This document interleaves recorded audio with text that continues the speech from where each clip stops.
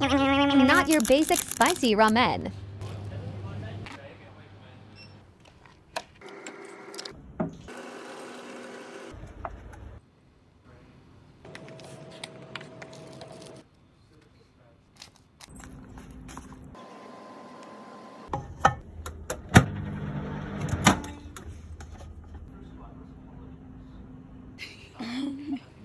I think because we add rice and cheese on it, so it's not as spicy. I really like the cheese flavor. It's a perfect midnight snack.